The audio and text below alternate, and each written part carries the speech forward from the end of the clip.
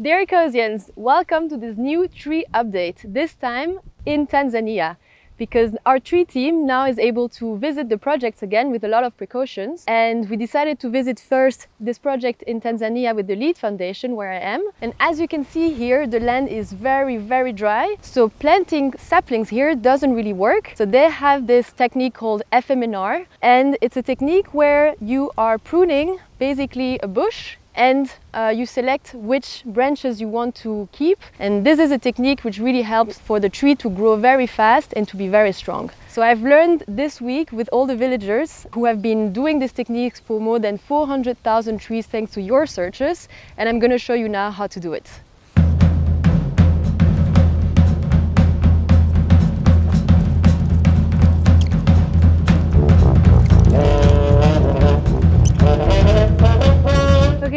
Much harder than expected. As you can see, I'm struggling a little bit, but I'm gonna continue. I got this.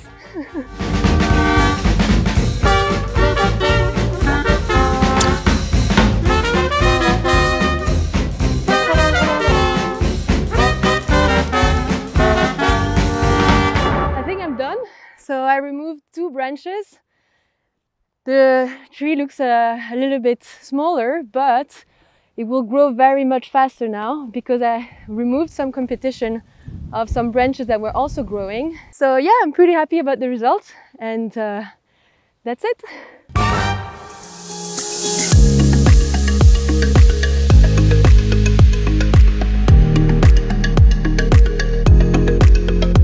As I'm speaking to you now, my colleague Katharina is currently visiting one of our other partners in Sudan where communities of women have planted 400,000 acacias Senegal thanks to your searches. And those trees have been planted on farmland and they produce Arabic gum. So selling this Arabic gum has dramatically improved the income of these women, but also improved their place in society. One thing about this project is that also some of the revenues are reinvested to plant more trees, which makes this project even more sustainable. So one of the main challenges of this project is due to the conflict happening in the region where people are forced to move from one place to another. But despite this challenge, Katharina has told me earlier today that people are very motivated to sustain their trees and they really see the value in them. So in two days, I'm going to be traveling to another part of Tanzania to visit another partner. So I'll see you there.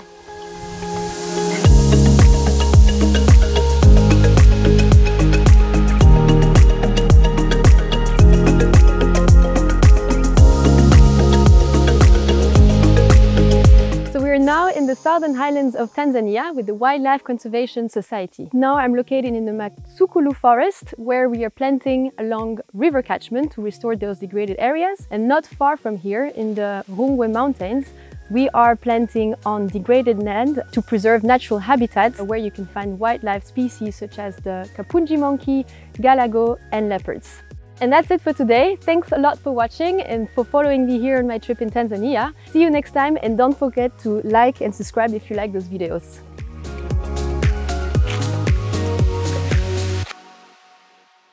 But also their place in society. And ah, sorry, I forgot. so selling this, selling, I'm sorry, make this project sustainable in the long term. No, was it the other way around? Shh. I'm joking. Oh wait, someone's calling me. Going to another part of Tanzania to visit. so I'll see you there.